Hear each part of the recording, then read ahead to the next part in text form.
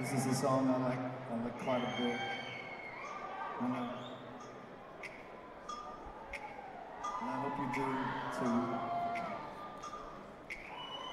It's about something ancient and something current, something forever, something lost, something always in the future. And it's called Sicily.